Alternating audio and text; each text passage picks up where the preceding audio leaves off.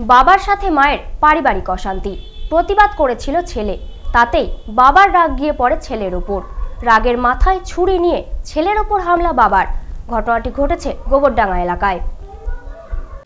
বাবার হাতে ছুরিকাহত ছেলে।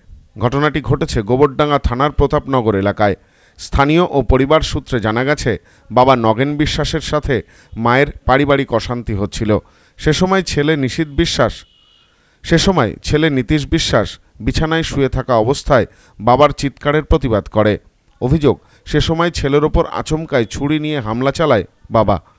ঘটনার পর দ্রুত আহত রক্তাক্ত অবস্থায় ছেলেকে উদ্ধার করে নিয়ে যাওয়া হয় হাবড়া হাসপাতালে। অবস্থা আশঙ্কাজনক হওয়ায় তাকে হাবড়া থেকে কলকাতায় স্থানান্তরিত করা হয়েছে।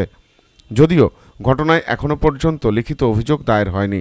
গোটা ঘটনায় চাঞ্চল্য সৃষ্টি হয়েছে এলাকায় ওই কথা কাটাকাটি বুঝো না বাপ ছেলে তারপরে তো তো মেয়ে ছিল। হ্যাঁ। তার কি হাতের কাছে পেয়েছে যাই হোক একটা কিছু মতো ছিল। ও তো জানে না ছেলে তো জানে না। হ্যাঁ। ছেলে তো ঘুমানো ছিল। ওই ঘরে সেই অবস্থায় তো পারে এক।